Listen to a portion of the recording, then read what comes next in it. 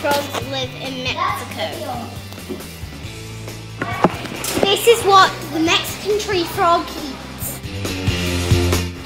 This is a small example of what they do. This is the Mexican tree frog's babies.